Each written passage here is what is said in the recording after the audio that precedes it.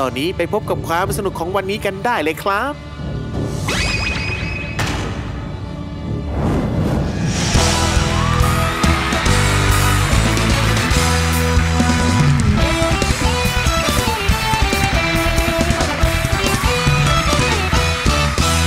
ซุปเปอร์มัมครับ คนนี้เคยมาแล้วครั้งหนึ่งครับ คนนี้ดูแม่นมากครับ ด้วยไพ่นะไพ่ไพ่ไพ่ป๊อกเราเนี่ยไพ่ธรรมดานี่แหละ แล้วดูแบบชัดเจนมากนะครับ อาจารย์อุ๋ยชนิษฐาครับผมสวัสดีค่ะสวัสดีครับสวัสดีครับสวัสดีครับเออไอเขาดูกันมันมันมันมันมันมียิปซีมันมีหลายอันนะเป็นไพ่หลายศาสตร์เออหลายใช่ค่ะศาสตร์ทำไมเป็นไพ่อันเนี้ยเพราะอะไรก็ของอาจารย์นะคะก็ไพ่ของอาจารย์อาจารย์จะเรียนตามความฝันนะคะอันนี้แสดงว่าเราเรามีก็มาคือมาเข้าฝันหรือไงเอ่ออาจารย์นะคะเป็นเหมือนกับว่าตอนเป็นเด็กอืม นะคะท่านมาสื่อในความฝันโอ้ในเรื่องของการดูดวงให้เป็นสื่อให้อาจารย์อุ๋ยเลย ใช่ค่ะ คนที่สอนอาจารย์คือพระแม่รัศมีนะคะ มาเข้าฝันสอน องค์คือองค์องค์พระแม่รัศมี ใช่ค่ะอ่าตอนแรกอะ ครั้งแรกเลยอะค่ะ เราท่านให้หาไพ่มา แต่ไม่ได้บอกว่าไพ่อะไร อาจารย์ก็ไปซื้อไพ่ยิปซีมา เอาวางไว้ในห้องแล้วหายเองเฮ้ยแล้วท่านก็บอกว่าไม่ใช่ไพ่นี้ต้องเป็นไพ่ป๊อกไพ่ธรรมดาที่เล่นกันนี่นะ ใช่ค่ะ อาจารย์ก็ซื้อไพ่ป๊อกมา แล้วก็วางไว้ แล้วก็นอนหลับไปอะค่ะ ก็มามาเข้าฝัน แล้วก็สอนในความฝัน ก็ให้เริ่มทำนายแล้วก็ดูเริ่มดูไปอะค่ะ ดูไปดูไปสักพักท่านก็บอกว่า ไปดูดวงได้แล้ว แล้วก็เก็บค่าครูแล้วแต่ศรัทธาพอเริ่มดูแล้วก็เก็บค่าครูปุ๊บอาจารย์ทัก ทักคนตาย อาจารย์อุ๋ยทักคนตายเลย ใช่ค่ะ ทักเขาว่าไง เขาถามว่าเอ่อย่าหนูอะจะเสียวันไหน เราก็บอกว่า ย่าจะเสียภายในอาทิตย์เนี้ย แล้วไม่เกินอาทิตย์เขามาเลยค่ะ บอกว่าย่าหนูเสียแล้วนะเราก็ตกใจคันนี้คนแรกเลยนะที่ไทยที่ไทยนะใช่ค่ะ ก็ต่อมาเรื่อยๆทักไปจนถึงเจ็ดคน เสียชีวิตหมดเลย ไม่ต้องทักผมนะอ่าทีนี้อาจารย์ก็เลยรู้สึกว่าการทักอย่างเงี้ย อาจารย์รู้สึกกลัวอ๋อนะคะว่า หนูพอตอนสวดมนต์นะคะท่านก็หนูก็บอกว่าเอ่อหนูรู้สึกกลัว หนูอยากไม่ทักคนรวยไม่ทักคนตายดีกว่าใช่นะหนูอยากทักคนที่รวย อยากทักความสำเร็จ อยากทักโชคลาภอยากทักว่าทำยังไงจะดีขึ้น ท่านก็เปลี่ยนทางให้เราโอ้พอเปลี่ยนทางปุ๊บก็เริ่มทักคนคนนี้จะรวย คนนี้จะทำธุรกิจแบบไหนแล้วดีทำอะไรแล้วดีงานแบบไหนดี ทุกคนสำเร็จหมดจนวันหนึ่ง ท่านบอกว่าให้อาจารย์ออกจากงาน แต่แต่ก่อนดูดวงไปด้วยทำงานด้วยนะคะโอ้อ่าอาจารย์ก็ออกจากงานแล้วก็มาดูดวงอืมแล้วพอในระยะเวลาต่อมา อ่า พระพิคเนตก็มาสื่อกับเราในความฝันอีก ว่าไม่สวดมนต์บูชาท่านไม่อยากดังเหรอ ท่านถามเราอย่างเงี้ยค่ะ เราก็เลยบอกว่าอ่าถ้าอยากให้หนูอ่า สวดถึงท่านน่ะเขาขอให้หนูได้ดูดวงมดดำแล้วกัน ขออย่างเงี้ยค่ะอยากดูดวงมดดใช่ค่ะแล้วได้เมื่อก่อนดูไหมอ่ารุ่งเช้ามาเสียงท่านมาบอกว่าเสียงพระพิฆเนศนะคะบอกว่า อีกเจ็ดวันมดดำจะโทรมาดูดวง วันที่แปดมดดำโทรมาค่ะอาจารย์ก็พอโทรมาก็คือ ก็นึกคำแรกเลยว่าเฮ้ยเราสิ่งที่เราขอท่านนี่ำทนายแล้วมาแล้วอืมแล้วก็ ได้ดูแล้วก็ดูจนถึงทุกวันเนี้ยค่ะ แล้วรู้จักรู้จักมดดำมาก่อนไหม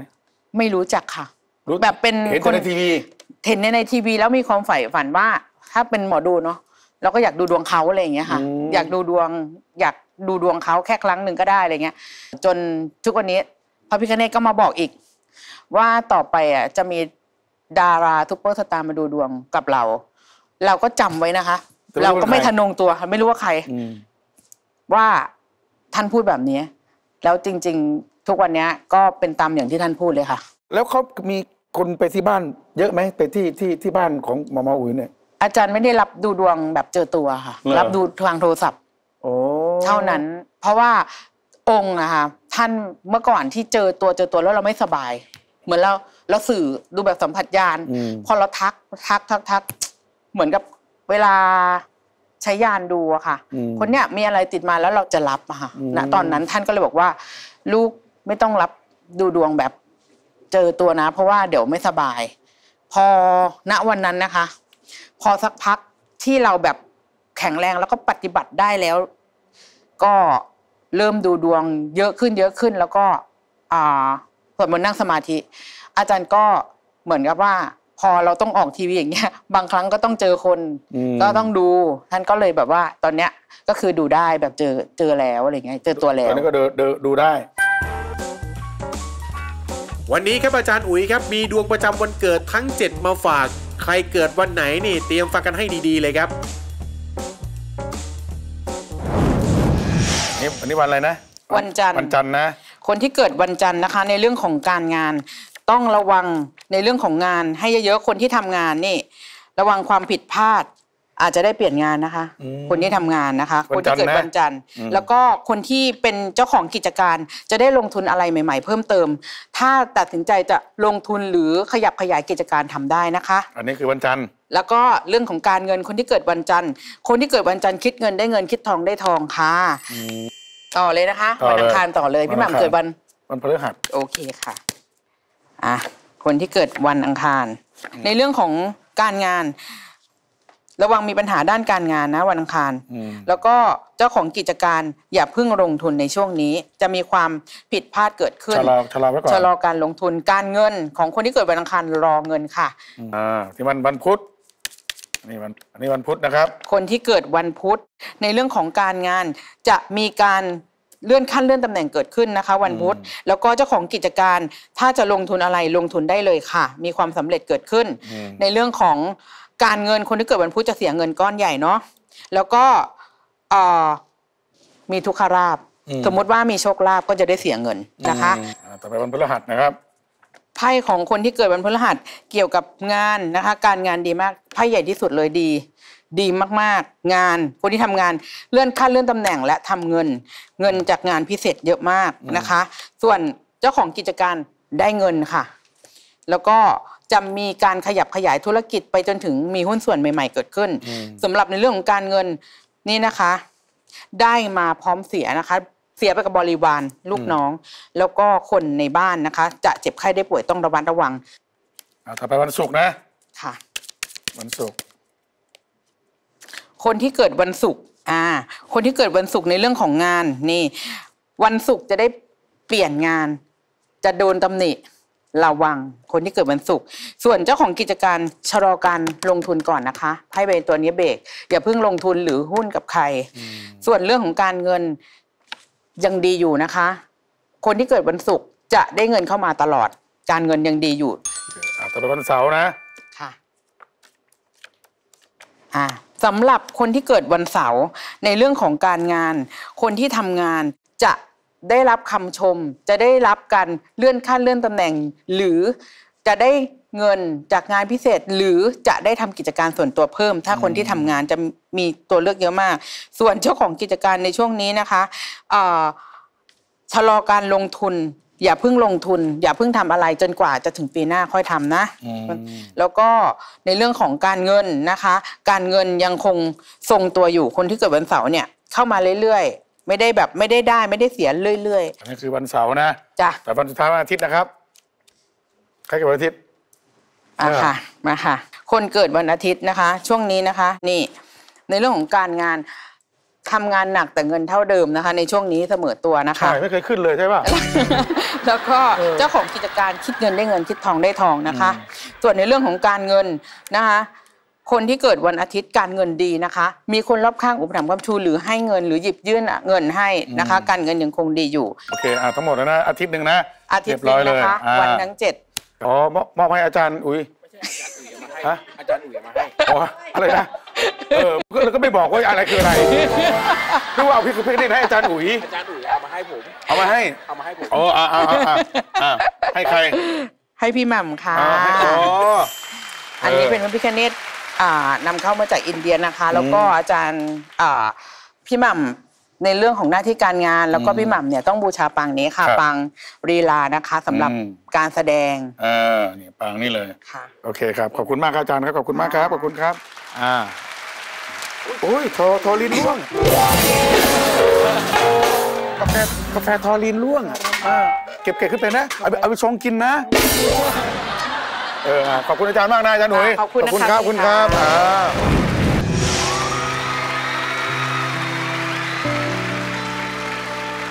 หมอลำเสียงวิหกนกพงศกรสวัสดีครับละมันบ่แม่นดอกลาที่เจ้าเห็นมาบ่แม่นหลายใจ เขาเอิ้นมีอันทยาใสทักทายยิ้มให้ ผู้แสบผู้สาว เป็นอายก็แม่นแต่อยากเป็นแฟนกับเจ้า อยากได้ไว้เป็นผู้สาวก็มีแต่เจ้า นั่นแล้วคนงาม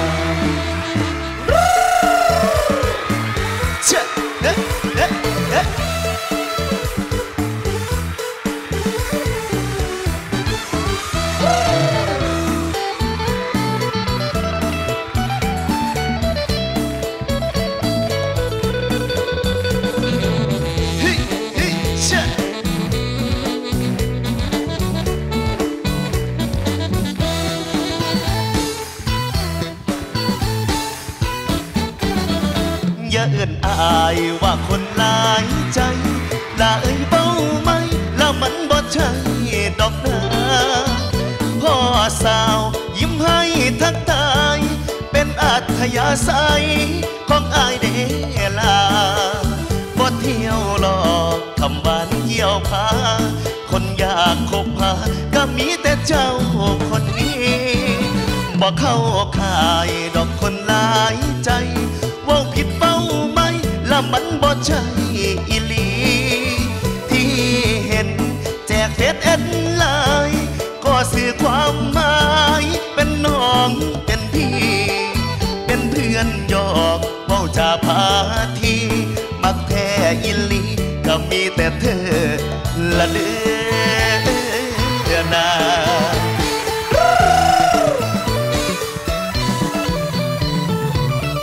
ใจยังบางบ่ไหลายทั้งพ่อหน่อย ใจยังบางบ่ไหลายทั้งพ่อหน่อยเด้อเพียงต่อก่อยบ่หน้อยต่อยผู้สาว มักแต่เจ้านั่นละแม่นย้ำเจอ มักแต่เจ้านั่นละแม่นย้ำเจอแค่ต่อเธอคนเดียวจะมันเที่ยวทางนี้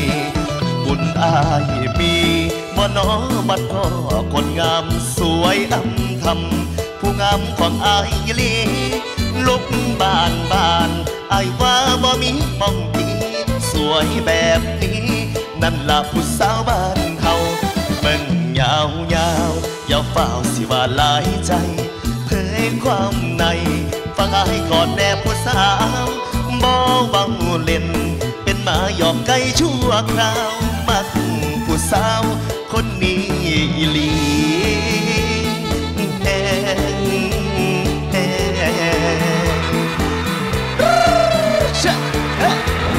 สวัสดีครับ สวัสดีครับ สวัสดีทุกคนเลยครับ สวัสดีครับ ทางนี้ทางนี้ทางนี้ สวัสดีครับ สวัสดีครับ สวัสดีครับ สวัสดีครับ สวัสดีครับ สวัสดีครับ สวัสดีครับ โอ้ยเรือทิ่มตาบอดเลยนะ ชื่อคณะอะไรครับเนี่ย คณะหมอลำเสียงวิหกนกพงศกรครับ นกพงศกรแมนครับ อันนี้หัวหน้าวง ใช่ครับ เอออันนี้นกนะ อันนี้อะไร สมศักดิ์ นิพนธ์ใช่ไหม ชื่ออะไรครับเนี่ย สวัสดีค่ะ น้ำหนึ่งหนึ่งธิดาค่ะ น้ำหนึ่งนะ สวัสดีค่ะ น้องสโอ้วายยเก๊กสวยเลยเฮ้ยกี่ห้ากินหัวเว้ยเก๊กสวยพร้อม สวัสดีค่ะ ชื่อเจนนี่ค่ะ เจนนี่เหรอ ค่ะ เป็นเป็นลูกครึ่งเหรอ เป็นฝรั่งเหรอ เป็นลูกครึ่งครับผม เอ๋อเหรอ ครึ่งอะไรอะเครื่องฝรั่งเศสค่ะ พ่อเป็นคนฝรั่งเศส ใช่ค่ะ แม่เป็นคนอีสานอย่างเงี้ยเหรอใช่ค่ะอ๋อเอาแล้วทำไมไม่อยู่ฝรั่งเศสไปอยู่กับพ่อหนูอยากเป็นหมอลำค่ะ แล้วร้องเป็นหรือเปล่าล่ะเป็นค่ะ ลองฟังนี้อะมังหน้าเลยมังหน้าเลย เอาคักคักมาพี่มาพี่พี่มามาเอามาโอ้โห เอ็ดเป็ดเลย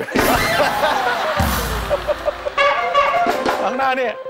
เอาพี่ข้างหน้าพี่ โอ้โห พี่มัมอย่าบูลลี่ลูกสาวผมนะครับ โอ้โหอะอะลองได้แล้วใช่ไหมคะร้องได้แล้วเจนนี่ ป้าเมียมาเลยป้าเมียมาเลยอาย ใจป๊อกใจป๊อกลับลับล่อล่อน้องละว่ามันเฉยอย่ามาคบซ้อนมันบอดีอายเอ้ยอยากได้อีหลีป้าเมียพี่มาเลย สิบห้าสิบห้าสิบห้าสิบแหมวิทย์ชอบเลย ไอวิทย์ตีกลองจ้องอย่างเดียวเลย เป็นจังไดครับพี่มัมเซ็กซี่วะครับ เขามีฉายาของเขาด้วยนี่ฉายาอย่างปีแรกมาผมตั้งฉายาให้นางเอกสาวหุ่นเซ็กซี่เจนนี่กุลธิดา แต่ตอนนี้เปลี่ยนฉายาใหม่แล้วครับนางเอกสาวหุ่นคือเป็นจังซี่เจนนี่กุลธิดาคุณสี่แหละผู้ชายเขามาแมนบ่ครับแบบนี้ผู้ชายเขามามักบ่ครับบอบอมีเมียแล้วโอ้ต้อยต้อให้แก้พาต้อนาเนี่ย เอาดิบักบ้า ก็เอากระหมาเท่านั้นแหล้วบอกเอ้ยอ่าอ่าอ่าอ่าเจนเจนนี่นะ ครับ แล้วเนี่ยชื่ออะไรเขาเนี่ย สวัสดีค่ะ พาไปหาหมอต่อมต่อมทำสินที่ไปไปชื่ออะไรนะอ่าชื่อยูเลียค่ะ ยูเลีย อันนั้นล่ะ สวัสดีครับวายโยครับน้องตั้มครับ เอออะ วงนี่เปิดมาจากปีล่ะหันนับเป็นปีที่เป็นวงเลยนะครับ ประมาณหาปี อันนี้ก็อยู่มาตั้งแต่เริ่มแรกเลยป่ะวงเนี่ยแต่แดนเซอร์เนี่ยหางเครื่องรุ่นบุกเบิกก็จะมีน้องน้ำหนึ่งน้ำหนึ่งนะครับ น้องวายโยเออโยกี้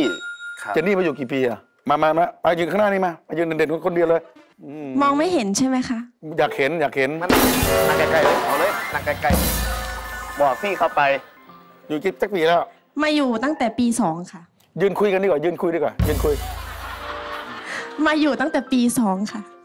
ปีปีอะไรนะ ปีสองค่ะ ปีสปีองสองยืนยืนคุยเลย ยืนคุยเลย เออ มีมีแฟนหรือยัง มีแฟนแล้วบ่ยังไม่มีค่ะโสดอยู่ เวลาหนาเวทีมีคนไปดึงเขาไหมไอ้นกนกครับ มีคนดึงอะไรเขาไหมมีครับ ใช่ไหมดึงอ่าล่าวแขนลงมาเลยครับใช่เนี่ยล่าวแขนลงมาเลยใช่ครับอย่าดังอย่าดังอย่าดัง ขอขออย่าดังอย่าดังแหมไอ้ วิทย์ชอบใจใหญ่เลย ดึงแขนลงมาเลยครับหันคนอื่นเขากับสิตีมือเห็นปะครับเออ หันคนแต่ว่าอาหมอนั่นเล่าวแขนลงมา สิ่งแรกที่เจนี่เห็นคือหอมแก้มผู้ชายเหรอใช่ครับ ยืนยืนหับอย่าดังนะโอ้โหยแล้วทั้งหมดมีแค่นี้เหรอะในวงอะทั้งหมดมีแดนเซอร์ 100 ชีวิตครับ เอานี่มาแค่ส่วนหนึ่งเท่านั้น ใช่ครับ เพราะว่าน้องๆส่วนหนึ่งก็คือซ้อมอยู่ที่บ้านพัก ปกติก็ไปกันเป็นร้อยเลยเหรอ230 ชีวิตนะครับทั้งหมดรวมทั้งพวกเครื่องพวกอะไรด้วย ใช่ครับ หมอลำด้วยนักแสดงตลกต่างเออๆเล่นยันสว่าง แล้วตลกอะมีใครมั่งอะ ก็มีกำนันแพรมีแม่ไฝมีเคที่ทับทิมกรอบ มีจงอางคางซอดแจ้งครับอ๋ออ๋ออ๋อยายสาเมืองอุดรเหรอใช่แล้วเนี่ยเล่นตลกด้วยไหมสวยขนาดนี้จะให้น้องเล่นตลกเหรอครับเออตลกสวยๆก็เยอะแยะนะเล่นบ๊อบบี้อย่างคุณส้มอะเลนค่ะทางหัวหน้าให้โอกาส เอ้ย มาลองคณะกรอนเออหน้าตาดีนะ เป็นลูกครึ่งด้วยเจนนี่ไปไปนั่งไปไปเออ ก่อนหน้านั้นน่ะเราอยู่กับวงไหนมาก่อนหรือเปล่า ก่อนหน้านั้นอ่านกเคยมาที่นี่ครั้งหนึ่งแล้วนะครับ กับหมอลำระเบียบวัฒศิลป์วันนี้แยกออกมาเหรอ ใช่ครับ คือแต่ก่อนคือเป็น ตัวร้ายของตัวระร้ายเบียบใช่ครับแล้วหน้าตายังเป็นตัวร้ายเขาจะเชื่อมันหน้าหลอกกันเดี๋ยวนี้เป็นยังจะซิบเซียอยู่เลยไหมเพียกูแบบนี้เหรอฮะพักสักครู่ครับช่วงหน้ามาคุยกับหัวหน้าคณะหมอลำเสียงวิหก นกพงศกรช่วงหน้าห้ามพลาดนะครับ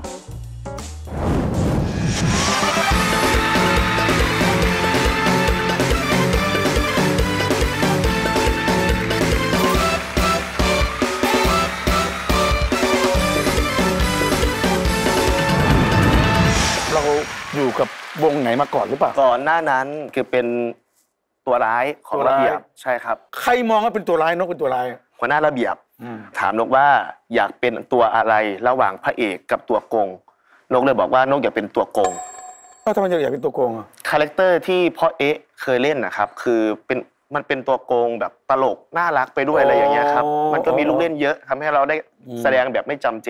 คือได้เล่นเป็นเป็นสไตล์ของเราด้วย ใช่ครับ แล้วพอออกมาอย่างเงี้ยแล้วไปตามนี่มากันมายังไงอย่างเงี้ยแดนเซอร์พวกเนี้ก็ยมีน้องๆก็มาสมัคร สมัครใช่ครับแล้วก็มาสมัคร ฝึกใหม่ด้วยครับมาฝึกใหม่ด้วย ฝึกใหม่ด้วยแล้วตอนครับที่เป็นวงแรกๆมันคงจะไม่มันมันคงจะลำบากมันคงจะเต้นเต้นมันยังไม่เต้นไม่เป็นกันเลยถูกป่ะ บางคนก็เคยเต้นมาเคยผ่านแล้งานว มาแล้ว ใช่ครับ แต่ว่าส่วนส่วนใหญ่ก็คือเกือบปีแรกเกือบ 70 คนนะครับที่ไม่เคยเต้นมาเลย ก็ต้องซ้อมกันหนักเลย ซ้อมกันหนักครับ แต่ว่ารวมทั้งเจนนี่ด้วยไหม รวมทั้งเจนนี่ด้วยเจนนี่คก็รับเต้นไม่เป็นด้วยตอนนั้น ตอนนั้นเจนนี่ก็เคยเต้นแต่หมอลำซิ่งใช่ไหมหนู ธรรมดาอะแต่ใช่พวกนี้เขาเก่าอยู่แล้วถูกไหมล่ะใช่ใช่ น้ำหนึ่งเนี่ยเขาได้อยู่แล้วใช่ไหมเออน้ำหนึ่งหรือขึ้นเวทีต่อยครั้งแรกที่ไหน เป็นนักมวยด้วยนึกแล้วนึกแล้วเป็นนักมวยด้วยต่อยครั้งแรกที่ไหนครับ ยังไม่เคยต่อยค่ะ เคยฝึกค่ะ มีแต่พี่ชายเป็นค่ะ เหรอแต่เราก็ มาทางนี้ดีกว่า ค่ะ เออแล้วเราอะก่อนหน้านั้นทำอะไร เป็นแดนเซอร์อยู่แล้วค่ะ เป็นแดนเซอร์อยู่แล้ว ค่ะ วันหนึ่งกินเลือดวันละกี่ลิตรอะ ประมาณลิตรหนึ่งค่ะลิตรหนึ่งนะ เออ เออเออแล้วเขาให้ออกมา เราออกมาเองแล้วก็มาตั้งคณะเองเลย ตั้งคณะมันจะไม่ยุ่งเหรอตอนที่ออกมาทำแรกๆใหม่ๆเนี่ย ยุ่งครับ เพราะว่าตอนตั้งวงแรก ๆนะครับ คือด้วยความที่นกไม่มีประสบการณ์กับการบริหาร ต้องมาซ่อมไม่ไม่เฮ็ดไอ้เรื่องสคริปต์ไม่เฮ็ดหยังไม่เบิร์ดเนี่ยแม่นครับ ผู้ใดเป็นคนคิดไทยนะฮะเนี่ย กับในส่วนของโชว์กับคิดเองนั่มแล้วก็อืมบวกกับคุณครูเบลอลังการโชว์ที่ทำโชว์อยู่แล้วอย่างนี้ยครับ อ่าแล้วก็ไปหาดูต่างๆครับ ไปดูละครเวทีไปดูนู่นดูดูนี่นั่นของนอกแล้วแน่ของไทยแน่ แม่นครับเข้ากับมาประกอบกันผสมกันไปครับใช่คแต่รัเวลาบซ่อมซ่อมที่ไหนเนี่ย ซ้อมอยุทธิบาลพังหมาล่ำเสียงวีโหกครับอยู่ที่อำเภอกู่แก้ว บ้านขอใหญ่ จังหวัดอุดรธานีอุคดรัรบอยู่อุดรเลยใช่ครับแล้วเขาน้ำซ้ำปลาเนี่ยเขากินกันเองเลยบ่ยังไงก็แค่กินกันเองเลยครับผเพราะมวันที่มือละสอบเหมือนกับเขานั่นบ่มือละสามสอบครับปาดโถกับเขาผู้ใดเฮ็ดเนี่ยกับเขากับข้าวกับใครกับเขานะครับหัวหน้าแม่ครัวกับสิเป็นแม่นกนี่แหละโอ้นะครับแม่หอยเป็นหัวหน้าแม่ครัว แล้วก็กินพร้อมกันเลยสองร้อยชีวิตก็กินพร้อมกันเบิด แมนครับผมกับไผมีผัวเนี่ยก็ไปกินน้ำปั่นกันดนตรีนะผู้ใดมีน้องมีนุงผู้ใดมีหมูคอนว่าก็แยกแยกกินปูชายกินกันไปตามแมนแมนคือแม่นพวกหลงทุ่งเนี่ยเนาะแต่ว่าส่วนหลายคนที่มีครอบครัวแล้วนี่เขาสิออกไปอยู่น้ำกันข้างนอก เขาจะไปเซาบ้านอยู่ข้างนอกครับโอ้แม่นครับเมืองฮอดง่ายกันจังมาแมนที่บ้านก็เฮ็ดเฮ็ดสตูเองเลยสตูซ่อมเองเลยมั้งครับสตูดิที่โอบ้านเองก็เลยมีสตูเพราะว่าอ่าสตูตรงนั้นเอาไว้ไล่สดครับอืมได้สเอาดไว้น้ำไล่สดกลุ่มปิดอืม ซื้อบัตรผ่านออนไลน์โอ้คือน้องๆก็ในขณะที่ปิดฤดูกาลก็ทำงานไปด้วยเออขายของออนไลน์ยังก็ว่าไปแมนขายของไล่พร้อมครับเออแล้วก็ FC หลายป่ะ FC เยอะไหมก็เยอะบ่อย่างตัวนกเนี่ยอย่างตัวนกเนี่ย FC เยอะไหมหนาเวทีในความรู้สึกของนกนกคิดว่าเยอะครับ เยอะนะครับเยอะแล้วมี FC ของแดนซงแดนเซอร์ไหม FC เจนนี่อย่างเงี้ย FC น้ำหนึ่ง FC น้องยูเลียอย่างงี้มีไหมเขามีไหมีนะครับ เพราะว่าอยู่ที่วงนกคือนกแบบ บังคับน้องๆทุกคนเล่นโซเชียลมาเลยครับโอ้ไม่ว่าจะเป็นเพจต่างๆสินะครับ ก็คือเล่นกันหมดแล้วเจนนี่ก็เล่นด้วยป่ะเอ่อช่องอะไรอะเจนนี่กุลธิดาแฟนเพจค่ะโอ้อ๋อแล้วก็เช็ดไปก็ขายของไปด้วยใช่คทุกคนรับก็ขายของหมดเลยอะขายของไหมก็มีบางคนครับขายอขายย่างขายขายของมั่งอย่างน้องโยนี่ก็ขาย ขายอะไรอะเออขายอะไรเออบอกเลย ขายปลาเส้นแดดเดียวครับปลาเส้นแมนครับปลาเส้นแดดเดียวแมนครับปลาอย่างอ่าที่จากปานวนจันทร์ครับ ปลานวลจันทร์แมนแล้วเนี่ยเอ่อขายของอะไรไหมไม่อะไรแล้วเนี่ยแล้วเจนนี่อะก็ไม่ได้ขายยูเลียล่ะ ขายปลาเส้นค่ะขายแปดเส้นเจออ้าวฝากบอลลำเสียงมีหกเลยฝากเลยว่าอยู่ตรงไหนติดต่อยังไง ครับนกก็ฝากหมอลำเสียงวิหกนกพงศกรนะครับไว้ในใจเจ้าภาพทุกท่านที่กำลังชมในตอนนี้ด้วยนะครับอ่าไม่ว่าจะเป็นทางหมอลำเสียงวิหกนกพงศกรแฟนเพจหรือนกพงศกรแฟนเพจแล้วก็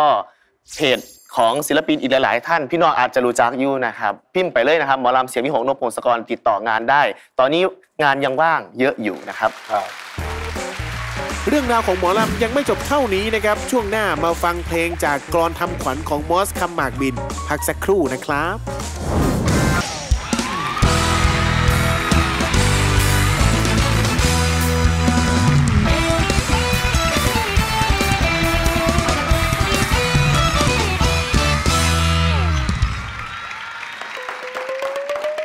ไม่มีที่ไหนนะรายการไหนนะ คือเขามานั่งรอแบบนี้นั่งรอว่าคือคือพร้อมอะ คือพร้อมอะ ที่จริงต้องคัดก่อน ถูกไหม อันนี้เราจะไม่คัดเขานั่งรออยู่แล้วนะ คุณมอดคำหมากบินครับ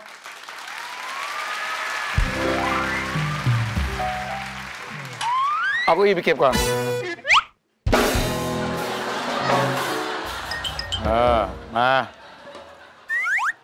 นี่มอดมากี่ครั้งแล้วเนี่ยสามครั้งครับสามครั้งแล้วนะ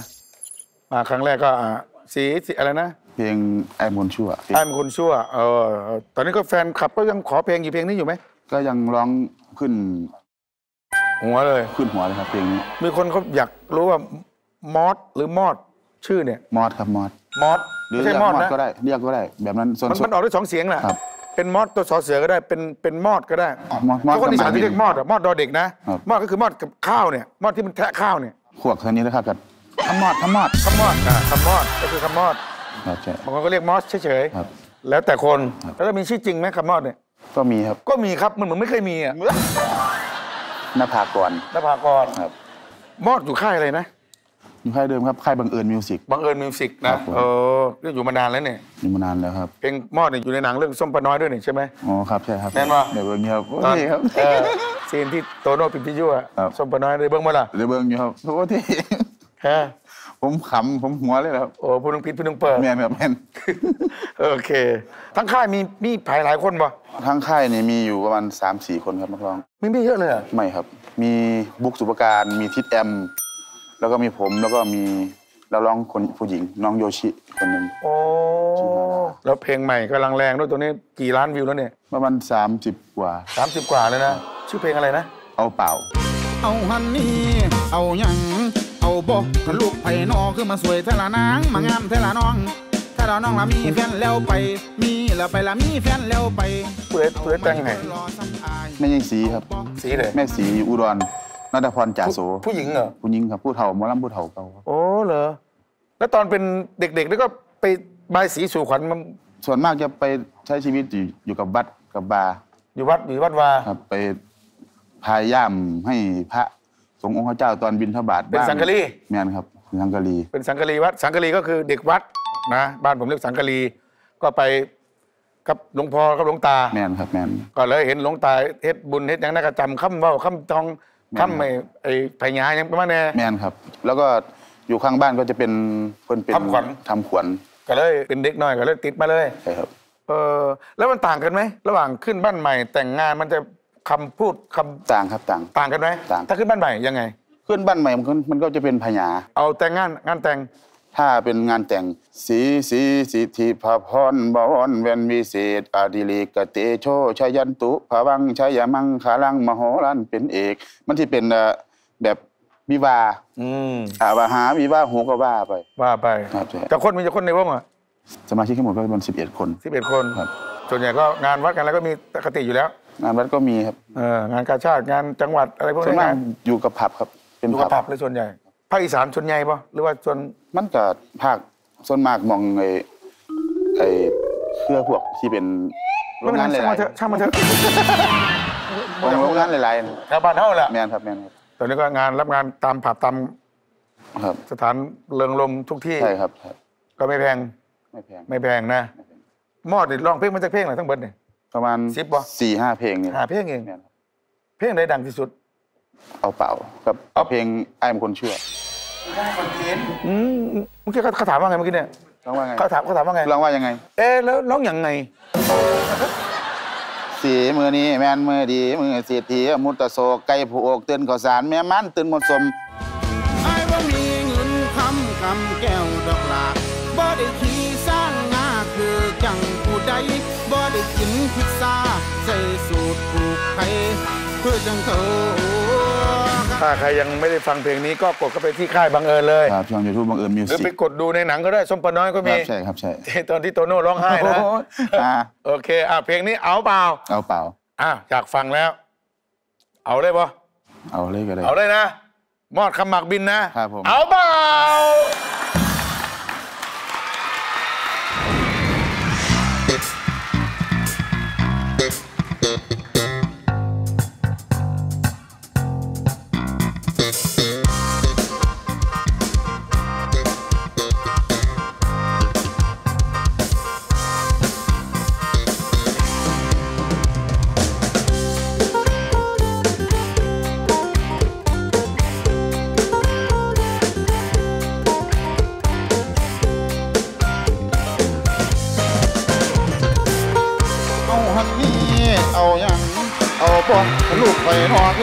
ละนางงามเท่าละน้องนะเท่าละน้องละมีแฟนแล้วไป มีล้วไปละมีแฟนแล้วไป เอาไหมคุณรอสักอาย เอาบ้องมาบ้องเอาไหมเอาเปล่าผิวขาวขาวสูงยาวอัดลาดปาดโคบปาดปาไม่ตาอ่อนซ้อนสมบเห็นตาตายังลาบอนเป็นเด็กน้อยที่คอเบิ่งก่อนเฮ็ดเจ้าน้อยที่คอเบิ่งก่อนเดียวนี้งามหมอละมีแฟนแล้วไป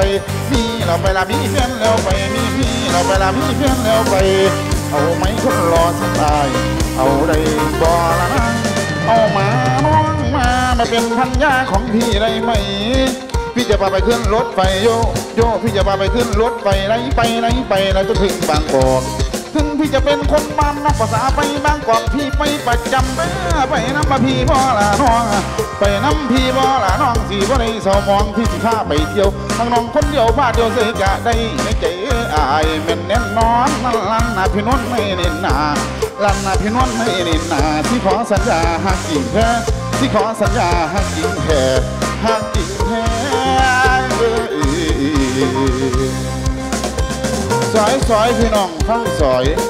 เปิดซ่องยังจะบอกบ่ถือเปิดซ่องไหนก็เป็นจับหมับ เปิดซ่องหม่ำเวิร์กพอยเด้อ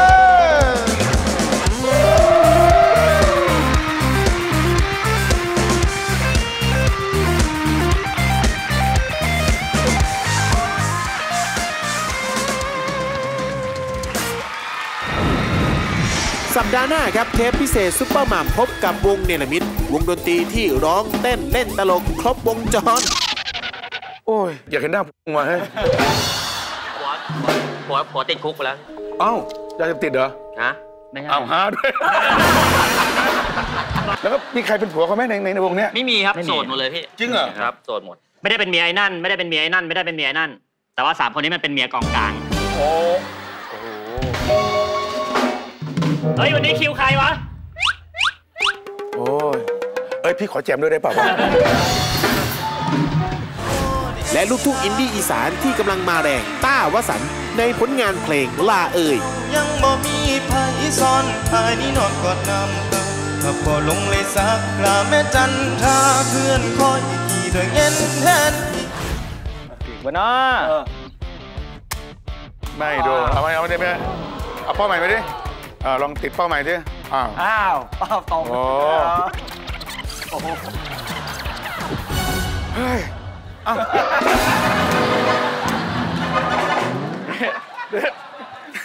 ไม่รักพี่คิดยังไงแล้ว